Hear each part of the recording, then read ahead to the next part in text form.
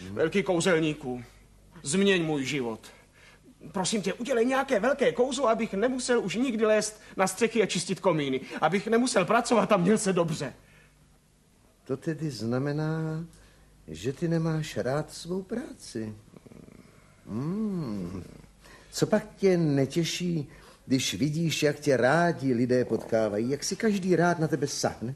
Ty nemáš radost, když vidíš, jak hospodinky jsou celé šťastné, že jsi jim krásně vymetl komín a že ten jejich trouba doma potom, eh, že ta jejich trouba doma potom dobře peče? To nemáš radost? Ne, to, to nemám radost. Mně vůbec nezáleží na tom, jestli hospodyňkám peče trouba.